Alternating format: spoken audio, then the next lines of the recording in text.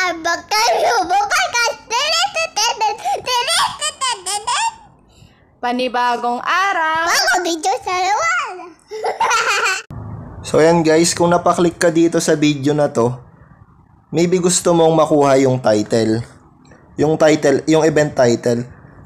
Kasi nga, sino nga ba naman yung hindi gusto makakuha ng title, di ba? Sobrang ganda nung stats, tapos sobrang, sobrang laki nung battle power na bigay. So, yung ibibigay natin dito is, ano, tips and tricks guys, para tumaas yung possibility na makuha mo yung ti- title o kaya naman, mga rare materials tulad ng Lucky Archangel, scroll o kaya naman mga title piece, ganon. So, bago natin simulan, disclaimer muna guys. Itong tips and tricks na to, pwedeng gumana sa'yo, sa inyo, pwede ring hindi. Pero, ginag ginagawa ko na siya since naglaro ako nito.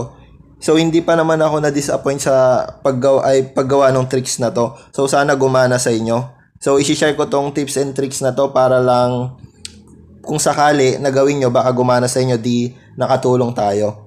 So, kung susubukan nyo guys, nasa inyo na lang yon Kung di nyo gagawin, okay lang din. So yan guys, simulan na natin to. Let's go! like a Hellcat. So yan guys, unang-una nating aalamin, eh, saan nga ba makukuha yung mga event items na ah, possible para makakuha ka nitong title na to. So ito yung target natin guys. Target nyo pala na makuha. So pag kinlik mo kasi yan, meron siyang bigay na attack bonus. Uh, Attack bonus 5%, lucky strike 10%, then excellency strike 10%. Pasok ka agad yan sa ano mo, sa inner stats and base stats mo. So sobrang laking boost yan guys kung makukuha nyo yung title na yan. Permanent to guys ha, pag na, nakuha nyo dun sa mga event materials. So yung event materials na sinasabi ko sa inyo, yung mga pwede nyo bilhin sa store. Punta muna tayo sa store. Sa store muna tayo mag-focus guys. Kasi sa store, makukuha nyo siya kagad sa pink diamond. So sa pink diamond, punta ka lang, tapos click mo yung normal. Yan. Pag click mo tong normal, makakabili ka ng 10 pieces dito sa normal server. Kung open na yung Abyss Realm nyo, itong world, yung map guys, tapos ito, click nyo lang yung Abyssal Realm. Yan, any map dito, punta kayo. Tapos open nyo ulit yung store. Magre-reset yon so pwede na naman kayo bumili. So kung 10 pieces dito sa normal server, tapos 10 pieces doon sa Abyss, Abyss store, meron kang 20 pieces a day. So 20 pieces a day nung nung rice spike. Ito. Pag binuksan mo kasi to guys, pwede kang makakuha ng ah, title, Lucky Angel, tas mga materials. So, kung marami ka namang blue diamonds, yan, pwede ka rin sumugal dito. Ito naman, ah, ang advantage nito guys, lahat na makukuha mo dito sa fruit is unbound. Ah, what do you mean by un- unbound? Pwede siyang matrade guys. So, kung pwede matrade, pwede rin ibenta. So, magiging source mo ng blue diamonds. Kaso nga lang, malit yung chance kasi makuha tong Lucky Archangel tsaka title. So, para sa akin, hindi ko siya gano'n nire-recommend. Pero kung madami kang blue diamond, sige, bahala ka kung susugal ka. Kasi meron naman dito sa pink diamond shop eh. Yan. Yan, makukuha nyo, makukuha nyo tong rice spike. So, saan ka pa pwedeng makakuha? Pag kilik mo tong event, tapos punta ka ng daily quest. Yan. Sa daily quest, pwede ka rin makakuha guys. Basta mag-quest ka lang ng mag-quest. Basta ma-open mo tong mga chest na to. Merong ito bigay na fruit eh. Ito fruit yung bigay dito, tapos dito rice spike naman. Yan, basta mag-quest ka na. Hindi na natin makita kasi nga, tapos na nating i-claim, tsaka tapos na tayo mag-quest. Tapos, halimbawa nakaipon ka naman ng maraming ah, yellow flower, pwede mong ipalit yan dito sa bonus. Yan, click mo yung bonus. Tapos, ah, scroll down mo lang dito. Yan, ito. 100 pieces ng yellow flower, one, one piece nito. Ito guys, pwede ka rin makakuha ng Lucky Archangel title, pare-parehas lang sila, yan. Mga, mga piece, pwede din dito makuha. So, ang tricks natin dito guys, para mas malaki yung chance nyo na makuha yung title or yung mga materials, halimbawa nakabili ka ng 20 pieces na rice, rice spike. Ang gagawin mo lang guys, i-split mo lang siya. So, i-pretend nyo na ano to, na rice spike. I-split mo lang siya by 1. I-split mo. Yan. Pag na-split mo na siya lahat, ganito magiging itsura niya. Pretend nyo na lang na rice spike to guys kasi nagamit na natin. Yan. Yan. Halimbawa na, na split nyo na siya lahat. Yan guys, para makita nyo lang na ano, na isa lang yung binuksan natin. Yan, in-split natin by one. Gagawin nyo, bago nyo i-open, di ba meron, ang magiging kalalabasan kasi dito, use nakalagay. So, scroll down, scroll down mo muna. Yan, gaganon mo siya.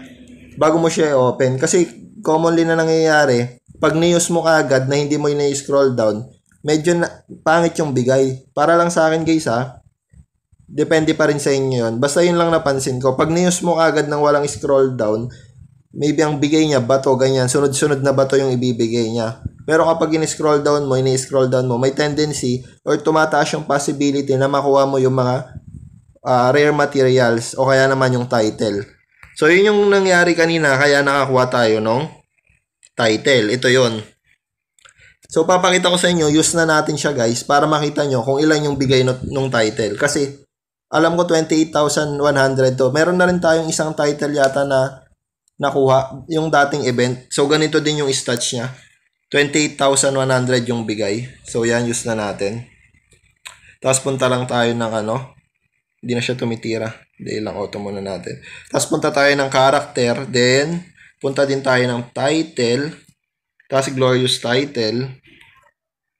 Tapos activate lang natin siya.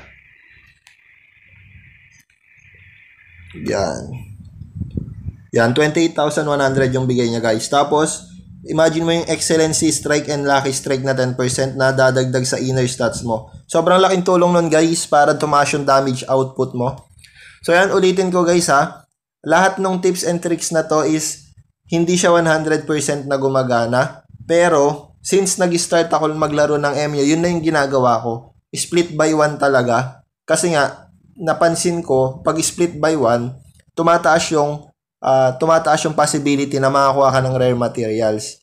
So, anong disadvantage nun pag-usapan natin? Halimbawa, meron kang 20 pieces, di ba meron kang 20 pieces na rice spike yung ino-open. Tapos, one time mo lang, one time mo lang bubuksan. So, ang chance mo na makuha yung title, one, isang beses mo lang din. Halimbawa, nabuksan mo na siya, di nakita mo walang title, wala ka ng chance ulit. Pero kung 20 yan, tapos in-split by 1 mo, meron kang 20 times na mag-open. So kung in-open mo na tapos hindi mo nakuha, possible mo pang makuha sa 19 times mo mag-open. So ang disadvantage naman, kung sa 20 times mong in-open, wala kang nakuha, 20 times ka rin madi-disappoint. Pero dito sa 20 20 tapos one time mo lang in-open, one time ka lang madi-disappoint, di ba? Ganun lang 'yon. Pero ginagaranti ko sa inyo guys na pag split by one yung ginawa, ginawa nyo is mas maganda yung magiging outcome. Hindi ko sinasabi na makakuha kayo ng title or Lucky Archangel, pero makakuha kayo ng mga uh, rare materials, hindi lahat ba to, ganun. Yun lang yung na-obserbahan ko guys. So, take, ano, gawin nyo kung gusto nyo, kung ayaw nyo, okay lang din. So, sinare ko lang yung technique ko guys, kasi nga kumakagat sa akin eh. Kasi nga nakuha ko yung title agad, 'di ba? So second day pa lang ngayon tapos hindi pa ako gano nag-grind. So yun lang yung gusto kong i-share sa inyo, guys. Sana makatulong sa inyo. Sana uh, makuha nyo rin yung title o kaya naman kung kailangan yung Archangel Scroll, Lucky Archangel, makuha nyo din o kaya naman kung badge, sana makuha nyo rin. So yan guys, sana may natutunan kayo dito sa video natin. Bago natin tong tapusin tong video na to, mabilis ang shoutout muna. Yan, shoutout kay Buy Power ng S345. Hindi ko alam kung by power yung pronounce ng pangalan niya. Then ito naman si CH Pornat. Yan, shoutout sa'yo. Tapos, shoutout din daw kay Ken. Yan, nakalaban natin sa ano, sa All Silver. Tapos ito naman si Jin, shoutout din sa'yo, men. Yan galing kay Gringo Ruiz, pa shoutout sa Immortals and Death Dealers sa S324. So yan, shoutout sa inyo lahat dyan ng S324. Tapos kay Lester Whitey. Boss Shine, ako ulit pa shout out. So yan, shout out sa'yo men. Tapos sabi naman ni Destroy TV, what's up Lodi? Pa shout out po, thank you. Shout out sa'yo, Destroy TV. Yan, sino pa ba mga nagpapa shout out?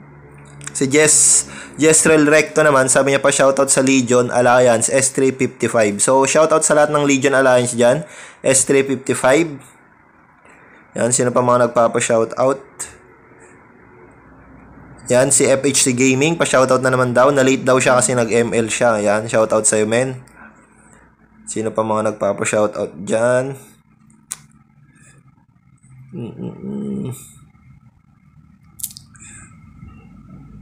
Yan, yun lang yung mga nagpapa-shoutout guys. Sana may natutunan kayo sa video natin. Hanggang dito na lang.